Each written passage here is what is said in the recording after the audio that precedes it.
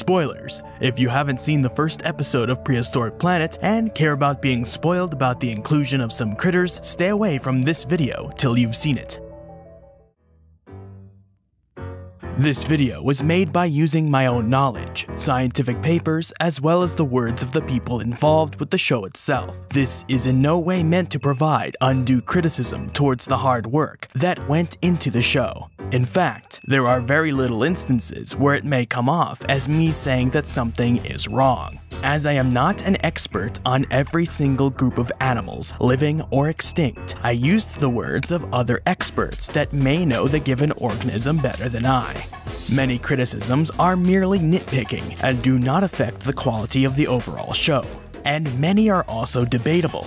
I use the words provided by lead paleontological consultant Dr. Darren Naish via his Twitter threads discussing the designs and design philosophy of all the animals in Prehistoric Planet to construct a more fleshed out scientific discussion than the show provides. Obviously, the show is meant to be more visual and myth breaking or trope busting than purely informational or educational. It does deliver a good amount of scientific information, but only that which is absolutely needed in the context of the scene or episode. I think a lot of people wanted more thorough explanations of why some animals were reconstructed the way they were, especially considering how strongly updated they are with speculative but scientifically rooted displays, behaviors, and tissues because of the stranglehold the 80s and 90s nostalgia fueled outdated reconstructions have on most dinosaur related media. So, please take all this into consideration when watching my scientific reviews of Prehistoric Planet. I was not aware of any information that may come out after the writing, recording, editing, or publication of these videos that may counter any issues I bring up with the dinosaurs of Prehistoric Planet. As of the writing of this preamble, no full-length documentaries or discussion of the behind-the-scenes work on the series has come out. Some rather short tidbits on the location filming, philosophy, and computer animation work have been released, but this does not entail the full breadth of the project.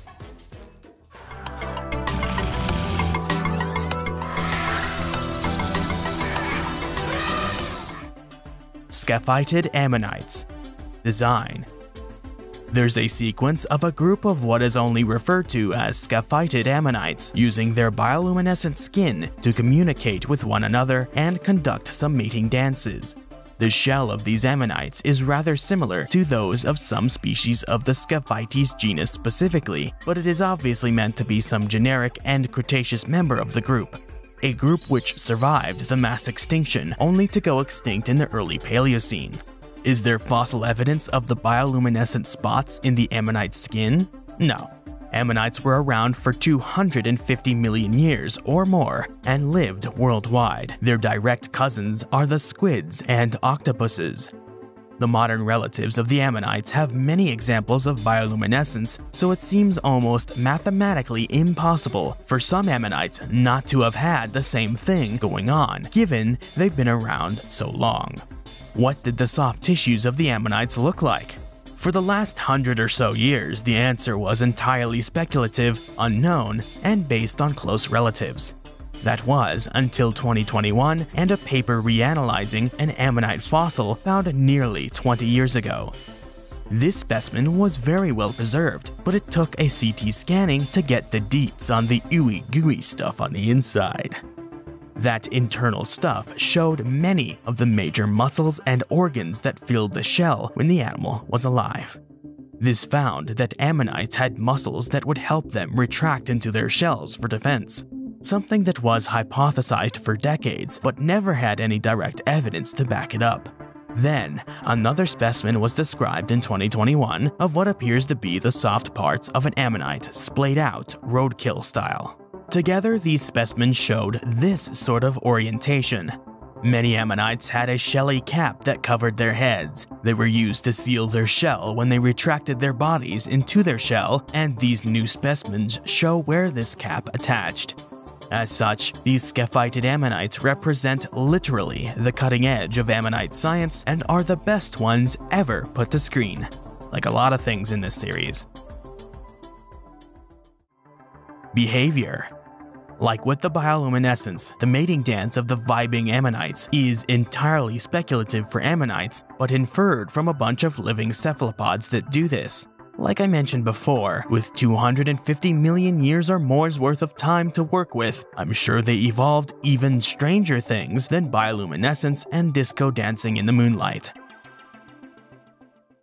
For more interesting stories about nature, the history of life, or what goes bump in the night, subscribe, hit the bell icon for updates, like this video, and drop a comment in the comment section below. Thanks for watching.